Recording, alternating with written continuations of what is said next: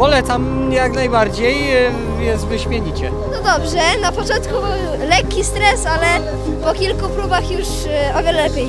Jak widać przez wodę nie jest tak łatwo przejechać, ale trzeba próbować. Wszyscy są mokrzy, przerąbane.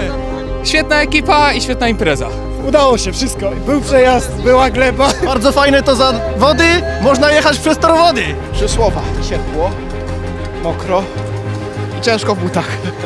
Zajebista impreza, mega dobra zabawa, dużo śmiechu, ludzie się tak postarali ze strojami, lecą fajne triki, jest zajebiście. No i sztosik, no.